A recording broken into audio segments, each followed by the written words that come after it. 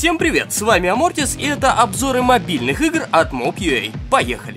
Как насчет хорошей порции мордобоя? Потому что сегодня у нас файтинг. Такой, знаешь ли, классический файтинг в стиле Тейкена, только в рисовано-анимешном стиле. Встречаем King of Fighters A 2012. Это не первая игра в серии, так что, возможно, ты слышал о ней и гораздо раньше. А возможно, как и я, только-только на нее наткнулся. Ну, раз уж наткнулись, давай-ка обозревать.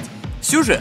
Вообще-то сюжеты в файтингах вещь достаточно символичная, и мало кто обращает на них внимание. Вот в последнем Mortal Kombat был сюжет, но не могу сказать, что он там был на первом месте. Также и здесь. Перед началом боя можно почитать диалоги, но их отсутствие было бы не критично. Насчет геймплея и механики боя. Как я уже говорил, это классический файтинг, то есть мы имеем вполне классический джойстик, изображенный на экране. Но, на мой взгляд, нормальный полноценный файтинг все же должен иметь нормальный полноценный полноценный джойстик, чтобы до хруста вдавливать кнопочки. Ну а если ты здесь что-то вдавишь до хруста, то боюсь тебе придется покупать новый девайс.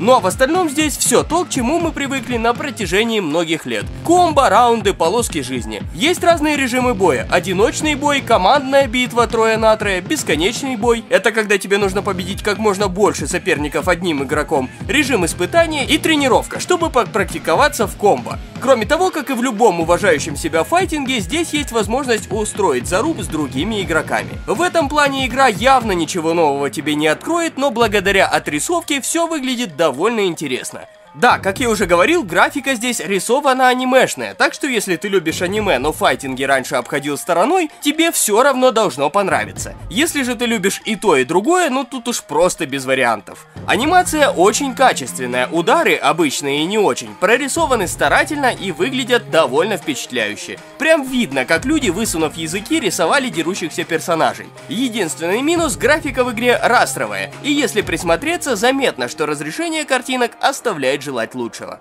Ну что, давай подводить итоги. King of Fighters A 2012 хороший качественный файтинг, который если не внес в жанр ничего революционно нового, то и позором этого самого жанра не стал. В целом мне все понравилось. Единственное, не хватает ощущения джойстика в руке, но это уже придирки.